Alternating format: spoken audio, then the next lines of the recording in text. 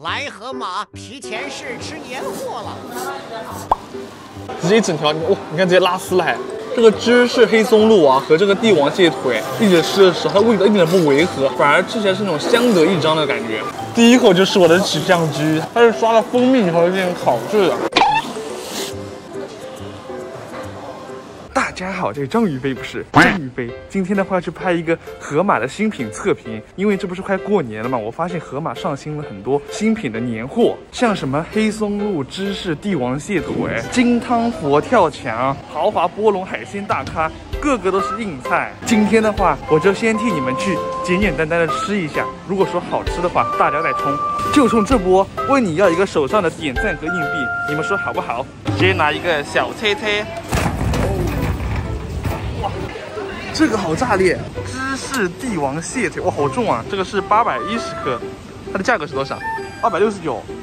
哇，你们想不想吃？想吃的话，我搞一个吧，看起来真不错，而且还有个大红花呢。哦，它这原来还有避风塘口味的这个，这是蟹块。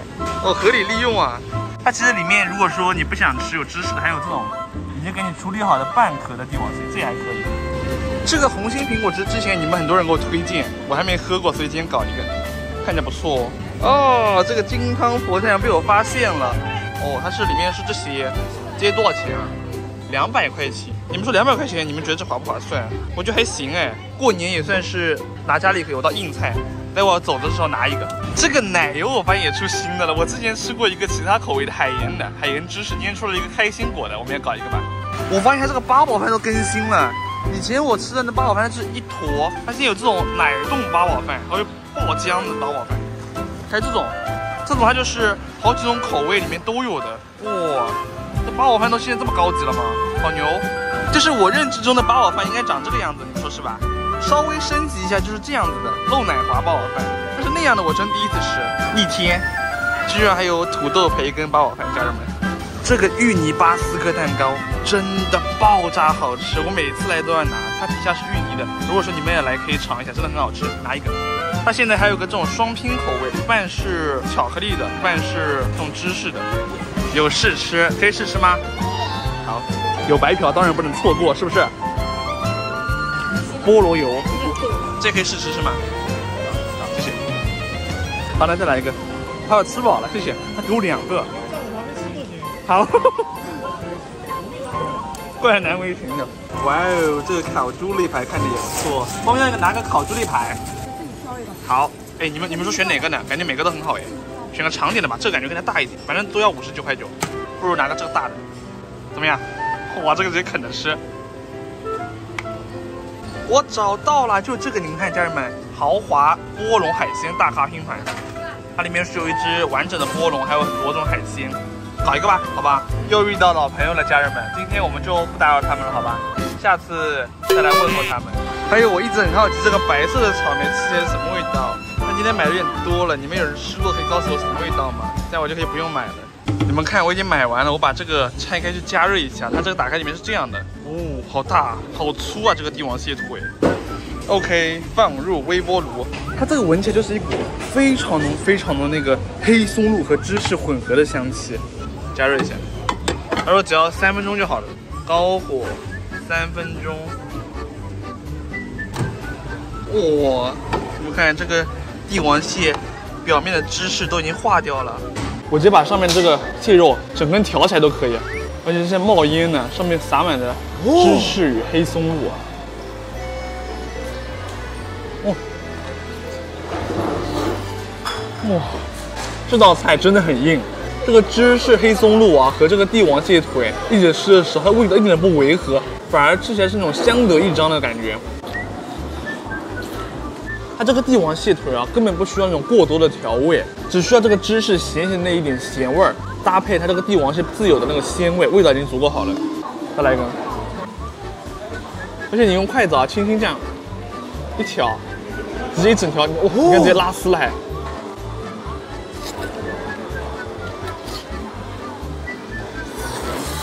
嗯，像这种样子的帝王蟹腿，你们一次性可以吃几根啊？有一说一，吃两根已经有点小顶了，再吃一根吧。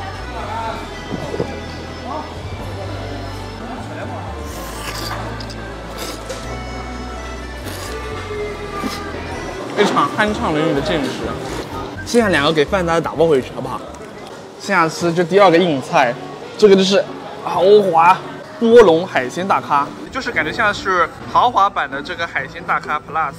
这几天我发现盒马它其实还有个黑标店，里面的商品更加高级，里面的海鲜种类超级丰富，丰富到像你在逛水族馆一样。但是价格的话，却比国内的很多那种顶尖超市便宜，而且全国的话只有上海有。如果大家想看小张去拍的话，咱本期视频点赞过六万，我就直接给大家去拍，好不好？想先嗦口粉，有点饿了。嗯。喝的海鲜大咖就像在吃饭一样，喝一下这个红心苹果汁，必须倒一杯啊，好吧？只有 A 提一个。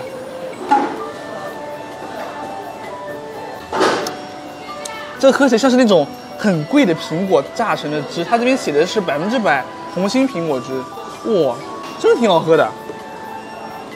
果香浓郁的同时，那种酸甜味又非常突出，这个真的好喝的，就我个人觉得是好喝的。接着吃一下我们的扇贝喽。小吃一口，再炫一个鲍鱼，Q Q 弹弹。不过这个鲍鱼吃起来味道有点淡，感觉没有特别入味，没有这个扇贝吃起来好吃。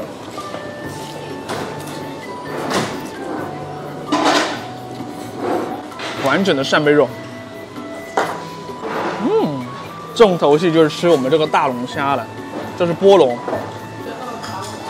周一飞哎，你好！啊，我见到本人了，我可以跟你合个影吗？啊，可以，可以，可以，可以。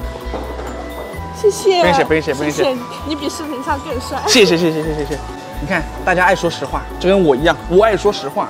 就这个海鲜大咖，我觉得有几个缺点，我要列一下啊。毕竟咱拍盒马这么多年，如果说品牌看到这个，也可以进行调整啊。就这个龙虾忒小了，还有就是这个粉丝它有点干。它有些部位还没有入味，就是在烹饪上可以用心一点，就是品牌方咱就是看到，可以品控上可以做一些把控，好不好？嗯，龙虾还是一如既往的好吃，吃龙虾吃的我想吃饭了，说实话。吃点粉丝。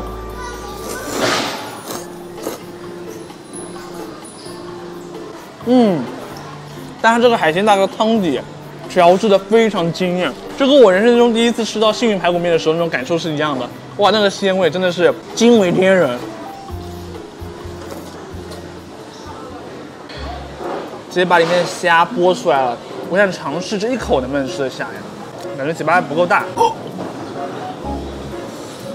嘴巴不够大，家人们，哎，那那个你觉得可以一口吃下这一整串虾的朋友，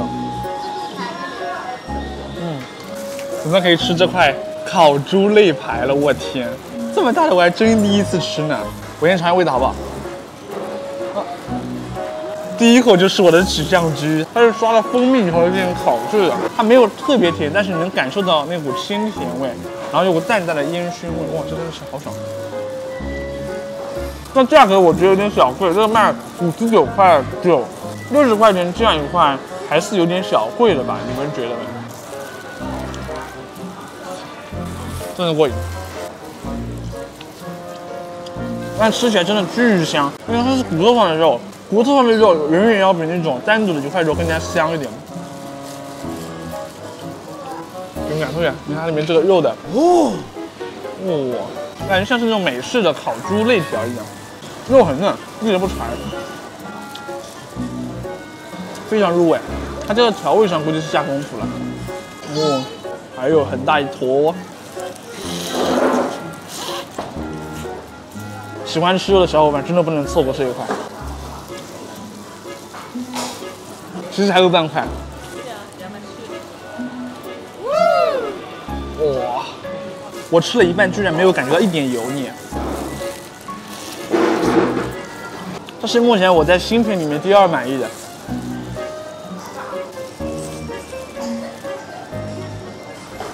然后我最近的话在减肥，所以我们今天就不吃主食了，好吧？最后我们再吃一下这个芋泥巴斯克蛋糕，盒马的芋泥巴斯克蛋糕，我只能说。啊，你以为我要说什么？这个巴斯克蛋糕真的好漂亮，你看上面还撒了一层糖霜，这个底下这部分哦，都是芋泥，吃起来超过瘾的。甜品这东西要怎么吃？细嚼慢咽。我天，盒马的芋泥巴斯克怎么能这么好吃？我愿意永远为盒马的芋泥巴斯克蛋糕打 call。感觉我一个人可以吃一盒，真的，这个芋泥量真的超级满，而且它不只是看着多，它这个吃起来芋泥的香味也非常浓郁，而且这个巴斯克蛋糕入口即化，因为它吃起来比较绵密嘛。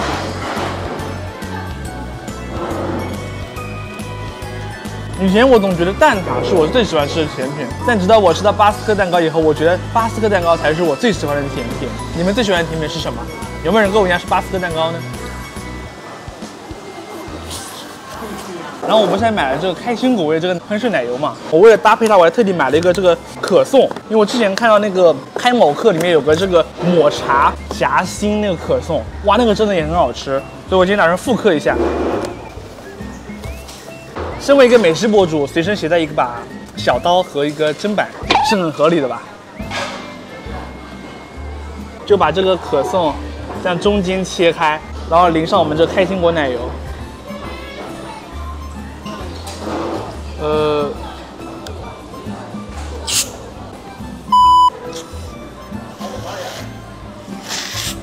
虽然看起来不太像，但其实他们也没什么关系。就是如果说我去那个产品研发部工作的话，估计待不了一个礼拜就被开除了吧。但其实还可以，这么看还是可以的吧。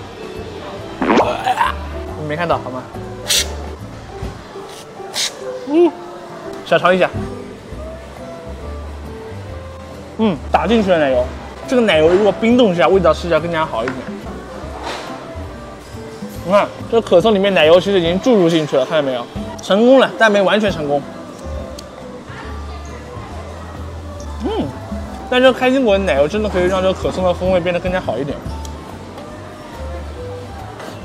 其实我觉得这样也挺好，就是，